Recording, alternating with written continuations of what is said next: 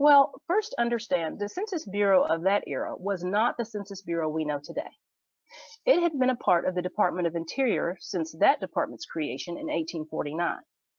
Until 1902, the Census Office was a temporary affair that bounced from building to building in downtown Washington, D.C.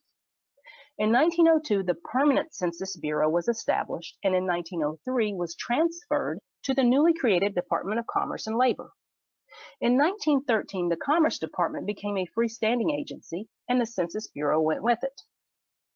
And that is where most of the census records were stored as of 10 January 1921 on various floors of the Commerce Building when the building caught fire. Of the 14 census years, records for seven of them were stored on the fifth floor. Records for six of the years were stored in the basement. The records for the recent 1920 census were stored in another building. Now, the basement was considered somewhat fireproof because its ceiling was concrete. Also, in the southeast corner of the basement was the 100 by 45 foot vault, which was fireproof. And that is where some of the census records were kept, in this fireproof vault.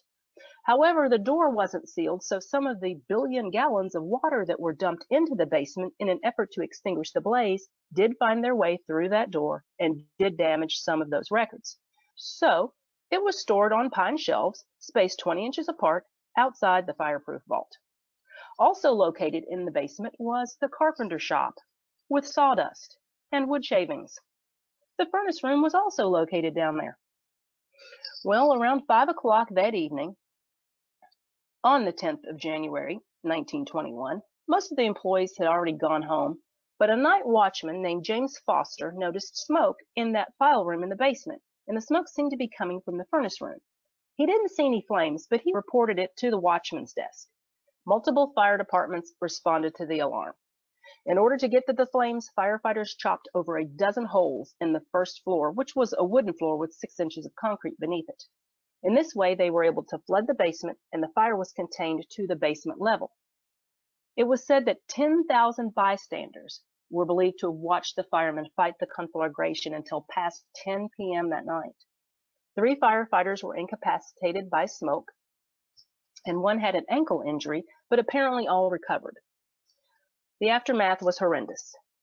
In addition to the 1890 census records, some foreign and domestic commerce records were stored in the basement, they were damaged and possibly unsalvageable in the three to five feet of water that was standing in various parts of the basement the next day. Bureau officials reported the losses and estimated the damaged census records would require two to three years to copy off at a cost of $2 million. The Bureau's chief clerk, T.J. Fitzgerald, told the Washington Post, quote, there is no method of restoring the legibility of a water-soaked volume, end quote. Initial estimates of loss and recovery were as varied as theories on how the fire started. Incidentally, the cause of the blaze was never determined. At the end of the month, the damaged records were moved to temporary storage. Subsequently, rumors began to fly that destruction of the records was being considered, and the letter writing began. From Blake's article, prominent historians, attorneys, and genealogical organizations wrote to new Secretary of Commerce Herbert Hoover the Librarian of Congress, and other government officials in protest. The National Genealogical Society and the Daughters of the American Revolution formally petitioned Hoover and Congress. Quote, the replies they received were complete denials of any destruction plans, and eventually the records were sent back to the Commerce Building.